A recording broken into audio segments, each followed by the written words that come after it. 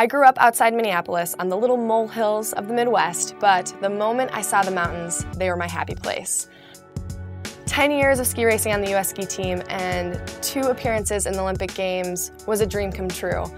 When I hung up my skis from the racing realm, I knew that I wanted to explore other avenues of the sport. What free skiing has really given me is the opportunity to discover these truly special corners of the world that I'd never skied before.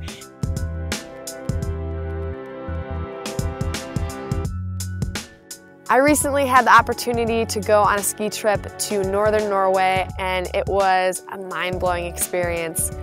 One of the coolest aspects of Norway is that we were on this boat and we got to go around the, these fjords and look at different lines and point them out and say, I would love to ski that. And they'd actually take the boat to the bottom of the fjord, we'd get out and hike up.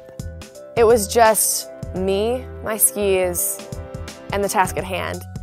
There aren't many moments in life where it's that simple. I always remind myself to look out and take it in. There's something really special about being at the top of a line and looking down and thinking, no one's ever skied this before. You get a little tense just taking that deep breath and getting that adrenaline rush of that split second before you drop in, or you have to relax and just know that You've got it in you, and it's just a matter of executing.